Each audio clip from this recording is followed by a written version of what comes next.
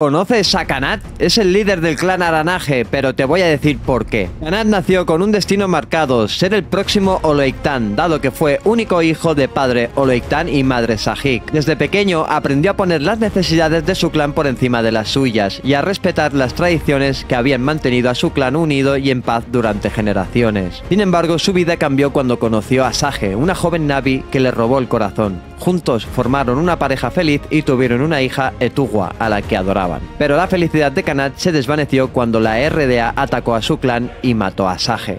Quedó totalmente destrozado por la pérdida de su amada, pero no se dejó vencer por el dolor. Siguió adelante por el bien de su clan y de su hija, y se convirtió en un líder firme y respetado. Kanat tiene un gran temor, la guerra, sabe que su clan no está preparado para enfrentarse a la RDA, que le podrían quitar la vida de su hija como la de su esposa. Por eso se opone a cualquier cambio que pueda alterar el equilibrio y la armonía de su clan. Pero su hija, Etuwa, no comparte su visión.